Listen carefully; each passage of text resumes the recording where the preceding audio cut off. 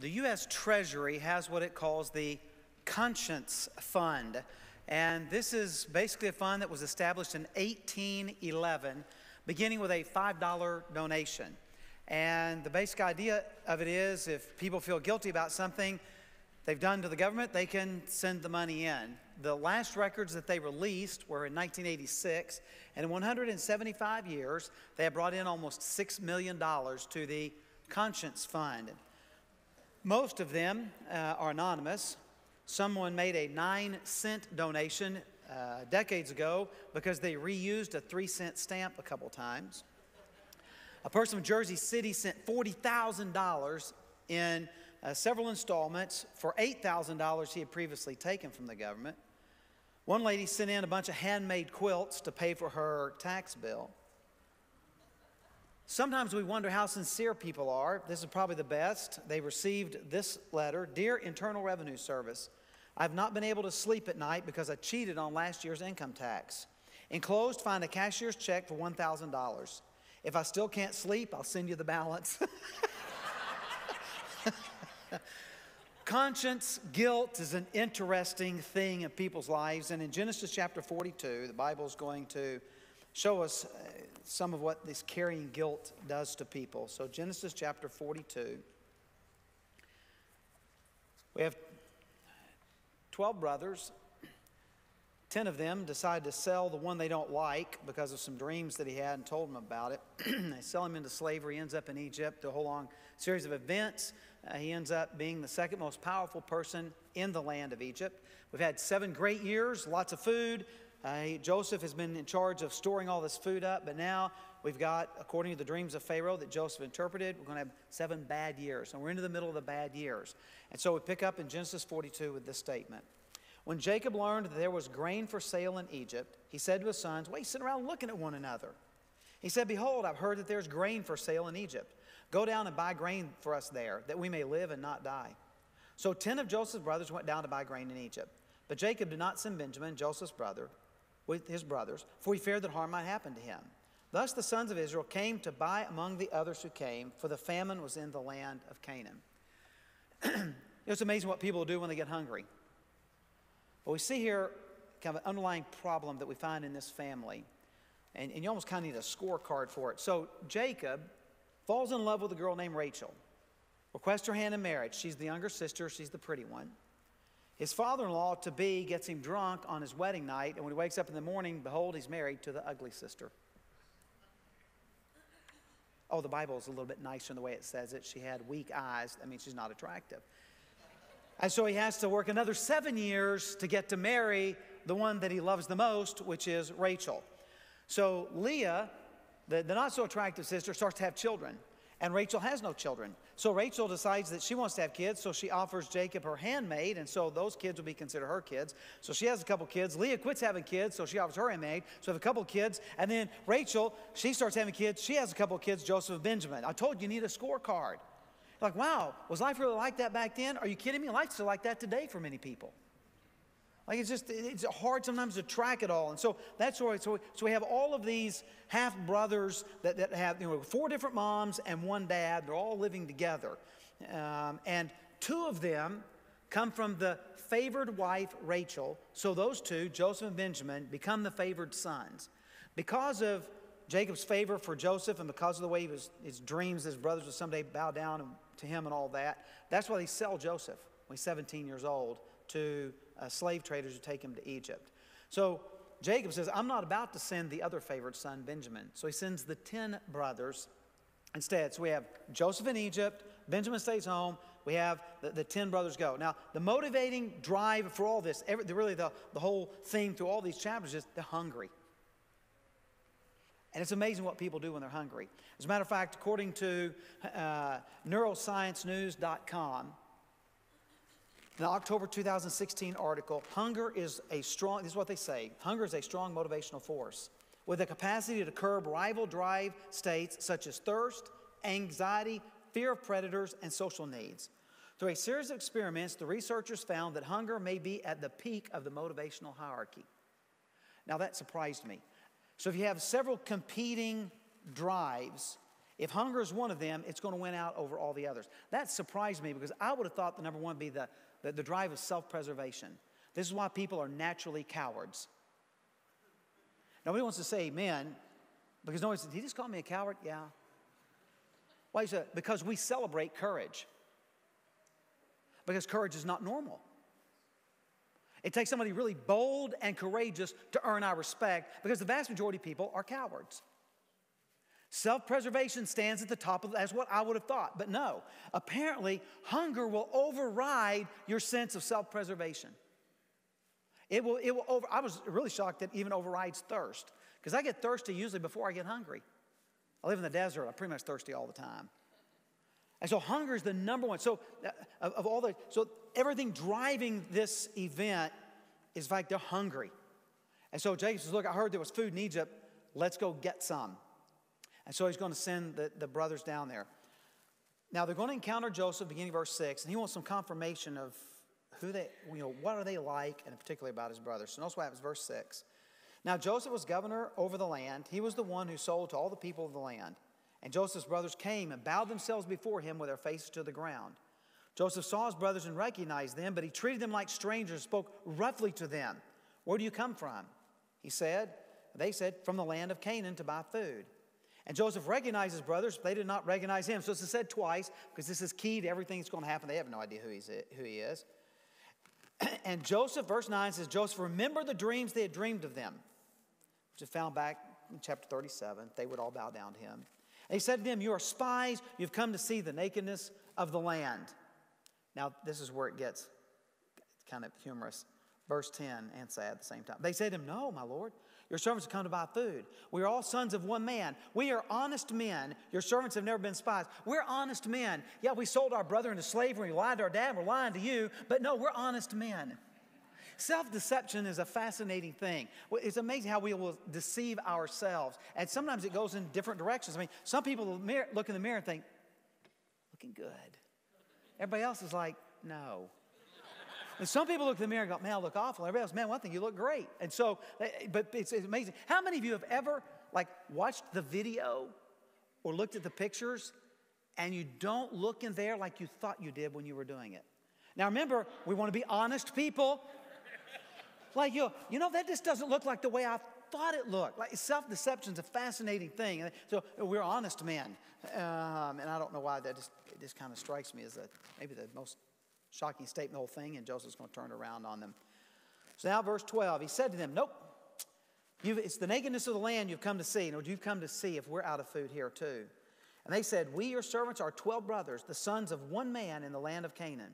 And behold, the youngest is this day with our father, and one is no more. They're still lying. Now, I find it fascinating. They say one is no more. They don't say he's dead. They don't know what happened to him. So they say he's no more. Have you ever like worded things in such a way that you left it a little bit ambiguous? You think, oh, no, not me. I'm an honest man. yeah, right.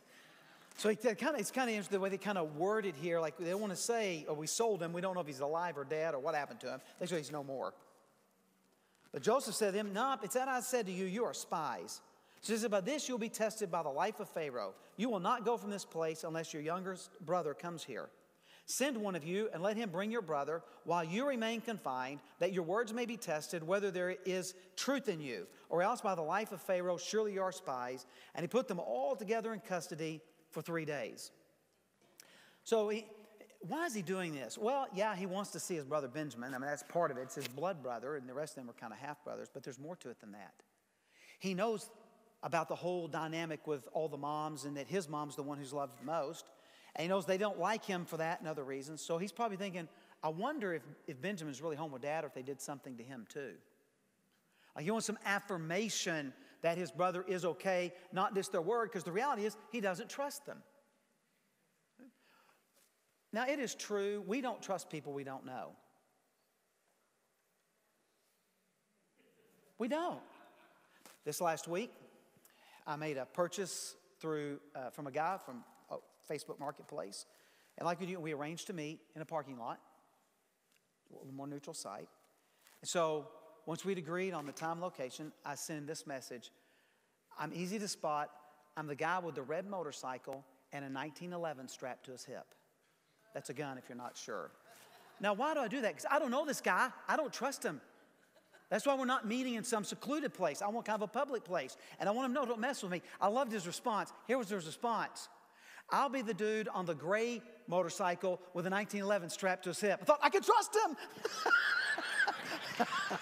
well, he's one of us. And uh, so, yeah, and it was really funny when I did actually meet him. It's kind, you know, it's kind of like laughing about, you know, both kind of said the same thing. But why in the world did I send him? Because I don't know, I'm not going to trust him if I don't know him.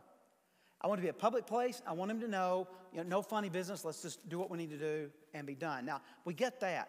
But it's really sad when there's somebody you know well and you can't trust them. Some people you don't trust them just because you don't know them. But when you know somebody, it says a lot about their character when you can't trust them.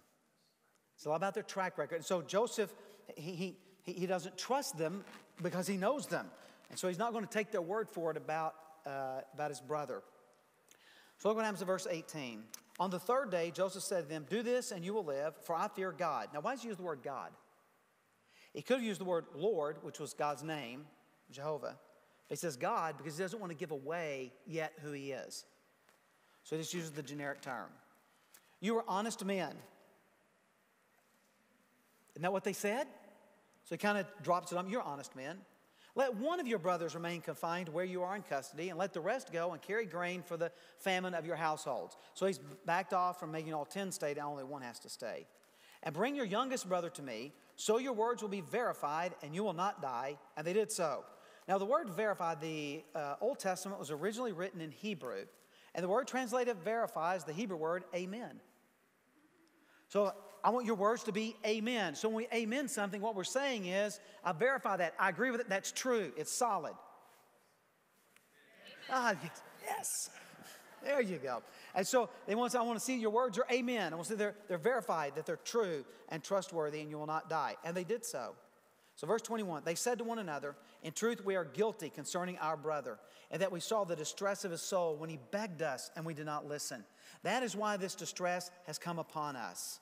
And Reuben answered them, Did I not tell you not to sin against the boy? But you did not listen. So now there comes a reckoning for his blood.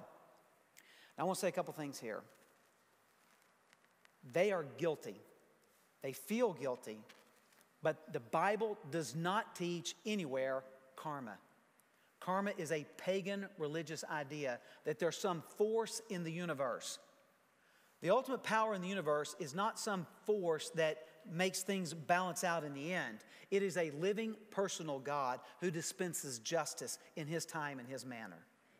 So this is not karma, this is guilt. Uh, so we are, are guilty, and they, they sense that now God is bringing justice upon them. And I don't know, I mean, does it not just kind of strike you? He begged us. He was 17 years old when they sold him. They had him in a pit for a while. They pulled him out of the pit. They're getting ready to sell him. And he's looking at them, begging and pleading, his own brothers, please don't sell me. Please don't do this to me. I mean, he's begging them. And one brother, the oldest brother, Reuben, says, Man, I don't think we should do this. But the rest of them did.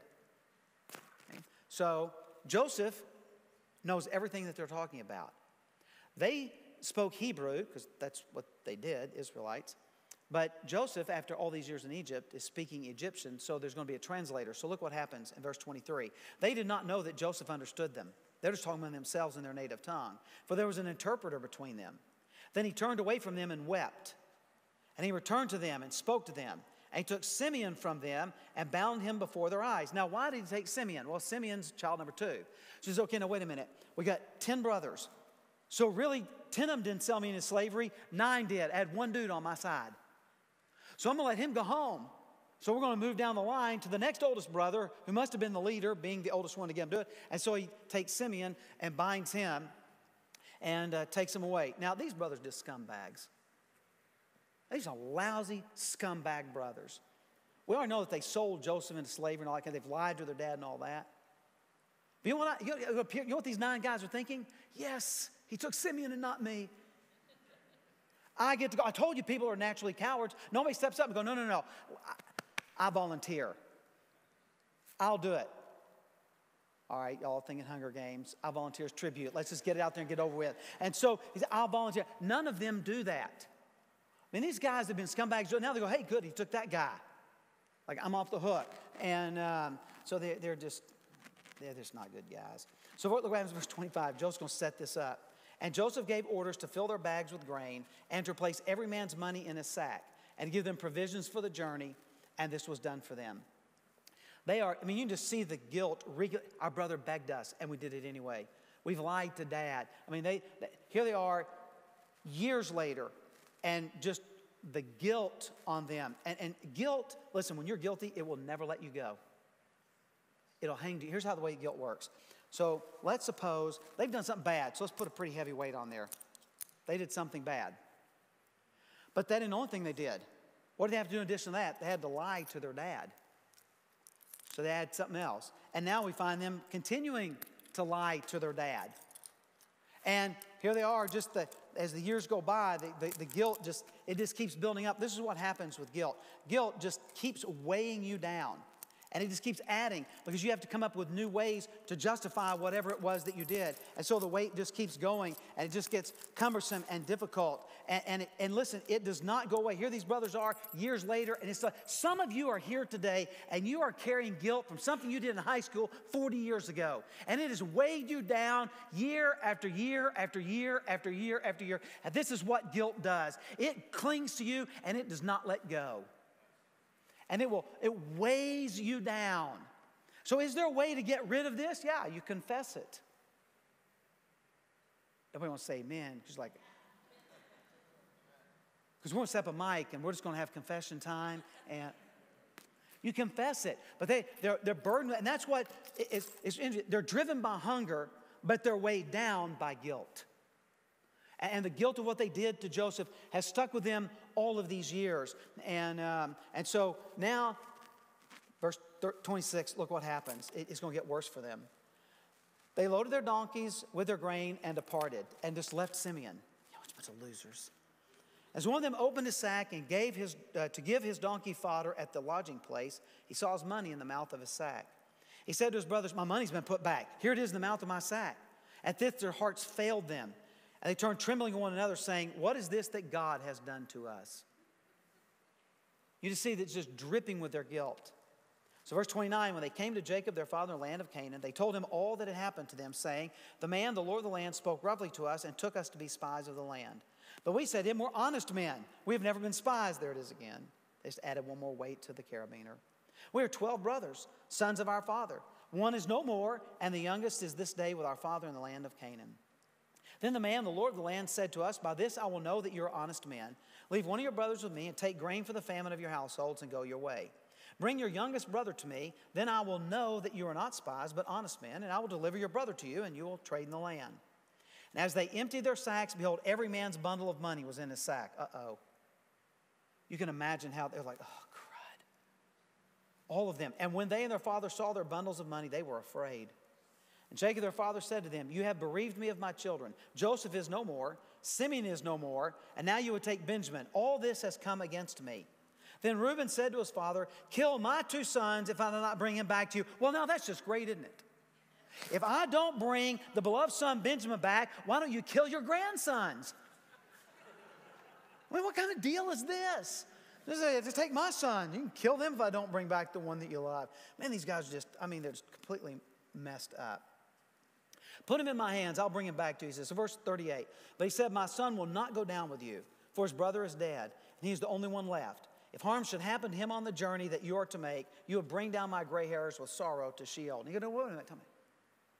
So nobody's going, well, what's going to happen to Simeon? Don't care as long as Ben gets to stay home. I mean, not just his brothers are messed up, Dad's messed up. I, I mean, can you imagine? Some of you can, because some of you, this, this d- defines in some ways, unfortunately, your childhood. What it's like to know that mom or dad or both of them have a favored child and that they really don't care about you that much. It's really all about that child and what it's like to be that, that not, not so loved child, how that would, would mess with you. It kind of reminds me of Faramir daughter and his uh, father, Denethor. And you go, wait a minute, what in the world are you talking about? You know. Denethor has two sons, Boromir and Faramir. and he's the steward of Gondor? Ah, yes. Okay, if you have no idea what I'm talking about, you've neither read The Lord of the Rings nor have you watched the movies. So basically, Denethor has two sons. Boromir, the older son, he was loved. Dad thought he was greatest thing since sliced bread. And then there's Faramir, he's the second son. Yeah, not so much. Dad doesn't care for him. Boromir has died in battle. And now Faramir is being commissioned by his dad to go out into battle as well. And let's just watch the exchange between the two of them.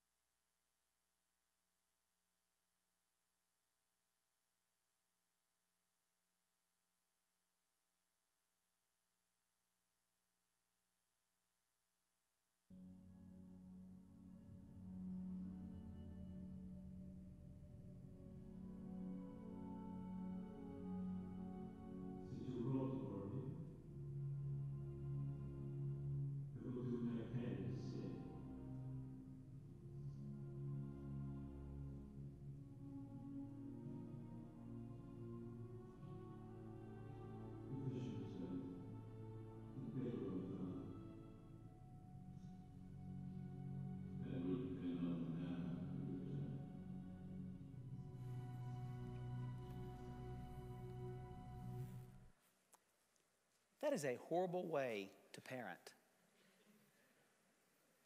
Okay, apparently y'all think that's a role model for parenting. That's a horrible way to parent.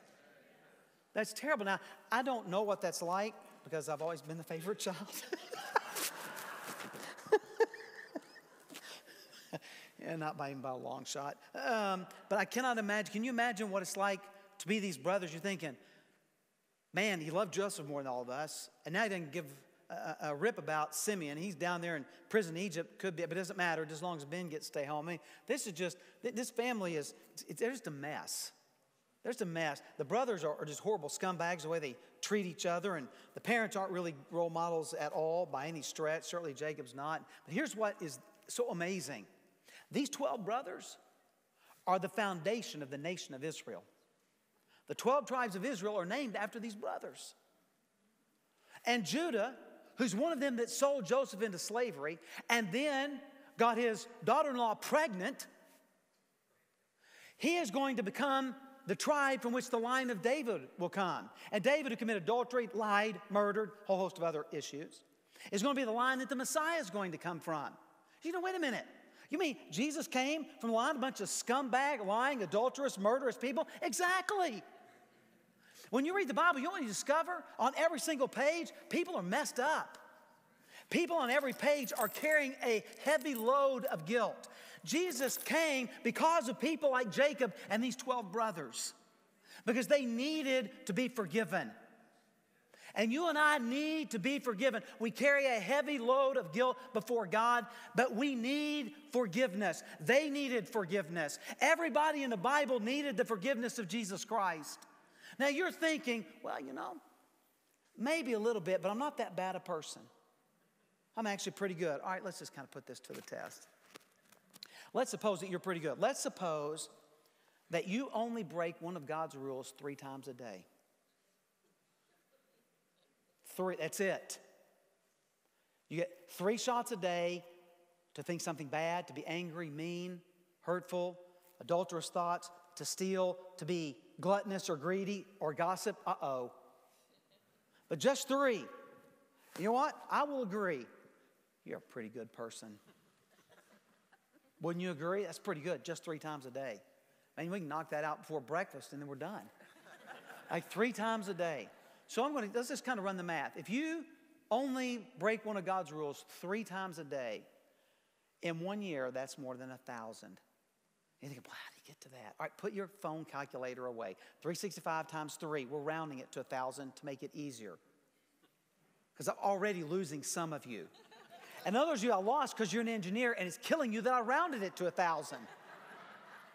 So let's just say a thousand. Now let's just be even more generous and say that you never realized that you were doing anything wrong until you were 10 years old. Now we know better. I thought every parent in here would say, Yes, we know better. But let's say that you don't, you're not conscious of any of those until you're 10. So they don't actually start counting against you until you're 10 years old and you live to 80. That's 70,000 times you've broken one of God's rules. How do you get 70,000? I'm going to help you.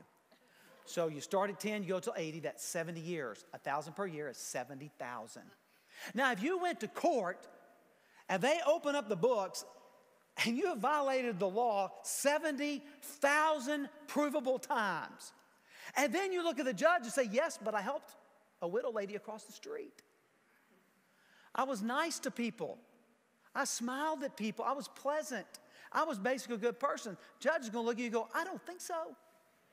70,000. The reality is, 70,000 isn't even close. Some of you are like, man, if I start doing math, let's see. So I know I've done, I've done like twice the three a day. Yeah, ask the people who know you. Not even close. You go, man, I've, I've probably like, I've broken God's laws like 100 times a day or more. Mean, you start running the numbers, you realize I have broken God's commands millions of times. I have a heavy, heavy load of guilt. How in the world can you and I get rid of that kind of guilt? We can't. We need somebody to get rid of it for us. And so God looks at us and says, Man, you are guilty. I mean, you ought to feel guilty because you are guilty. So here's what I'm going to do I'm going to send my son to die on the cross and rise again so that all of your guilt can be removed and so that you can be forgiven and spend forever with me in heaven. It is through Jesus Christ that we can be forgiven of our heavy load of guilt. And it is taken away for good, forever, signed, sealed, and delivered through Jesus Christ. So let's just think about it. You show up to heaven. God says, Why should I let you in? And you go, Because I've been a pretty good person. God says, Let's get the books. And he starts, and the more pages God turns, the more you start to squat and look your head down and kind of, is there a second entrance? no. I mean, it just says the books go through, you are so guilty. When I stand at the gates of heaven and God says, Man, why in the world should you get in here? I'm going to say, Because I'm perfect. And here's why because when I put my faith in Jesus Christ, all the millions of things that I've done wrong and will ever do wrong were all put onto Jesus' book. And he died for them on the cross for me to pay the penalty for my guilt. And Jesus' righteousness was put into my book. So that when my book is open, all you see is the righteousness, not mine, but the righteousness of Jesus Christ, because I stand in him, and in him I'm declared righteous before God. I will get into heaven not because I've been good, but because I've been declared righteous by Jesus Christ. I've been declared forgiven by the death and resurrection of Jesus Christ. Yes, my load of guilt was heavy, but my forgiveness is greater because of Jesus Christ. Amen.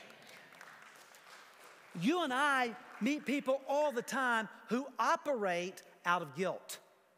They know they're guilty. Their conscience bothers them. And there's a heavy burden and some of the reasons why some people act like such fools is because of the guilt they carry. What they need to hear is that your guilt can be removed through Jesus Christ. Put your faith in Him. The world needs to hear our message loud and long. In Jesus Christ, there is eternal forgiveness. The guilt can be removed forever.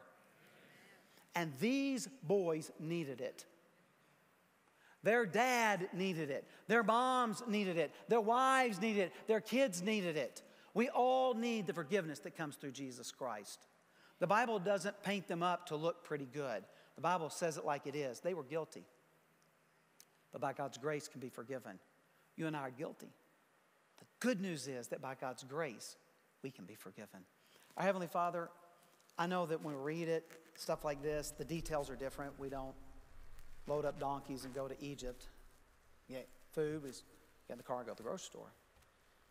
But the reality is, being guilty is something that all of us know.